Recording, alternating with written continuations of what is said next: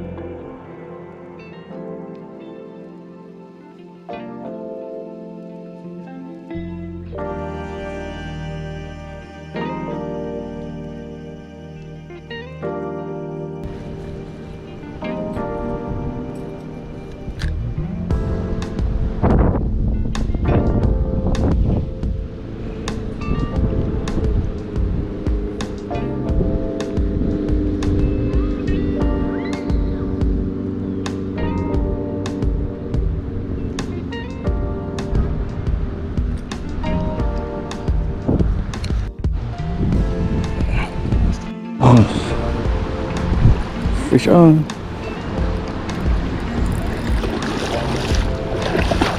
I miss all the jumping.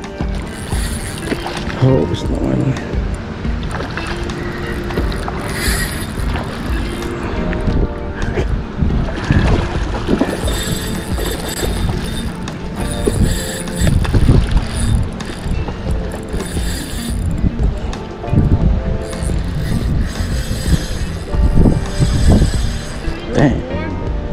Say it again? Yeah, I caught a small one by like raw walleye down there. That's it, yeah. About like three, 10 minutes? Yeah. I tried a spot five minutes and then they came down here. Uh, Jake? Yeah. I some some use only jig with crappie tube, that's it. Okay. Yeah.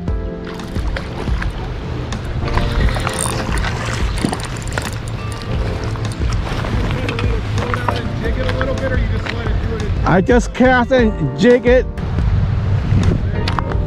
Yeah. yeah. I missed all the jumping, you know, under the bridge too. Under the bridge? No, I think when, when I was over there, right, I, I, I usually fish over there and jerk it from, from that spot there over there. A whole bunch of down here. Yeah, a whole bunch of down here. But now they're not really in the, the spot there. Mostly they pop down here and over there. And I usually cut them over there, like on the other side too. Yeah. Yeah, maybe it was four or five pounds. Alright guys. Yeah.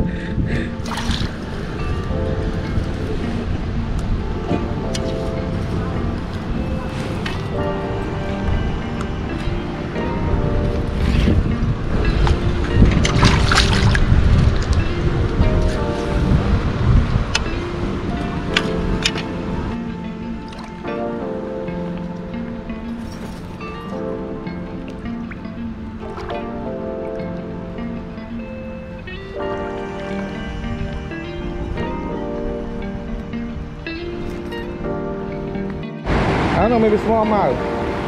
Possibly, yeah. Ah!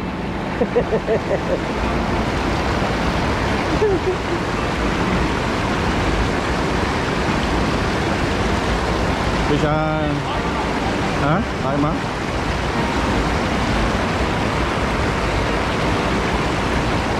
One down.